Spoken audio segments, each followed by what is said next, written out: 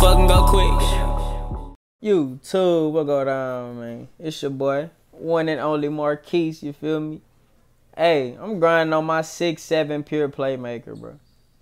And I got a rep method for anybody out here who trying to get Hall of Fame ankle breaker, Hall of Fame pick and roll maestro. Plus you can work on Dominant and Lob City Pass. You dig?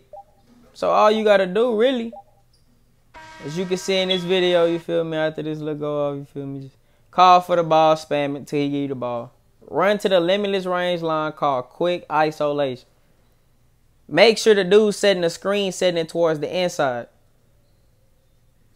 So you can run to the outside, you feel me? We all get what I'm saying, you did. That's it. Quick isolation. When you call for the screen, hit L3 one time. Rhythm dribble, run smooth baseline. And all that's gonna add up to pick and roll maestro Hall of Fame. As you can see, it's on bronze right now.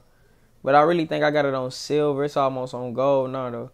And Hall of Fame ankle breaker. Like you can work on all these badges at the same time, you did.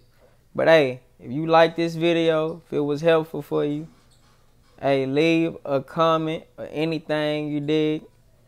And let me know what else y'all want me to bring. You did.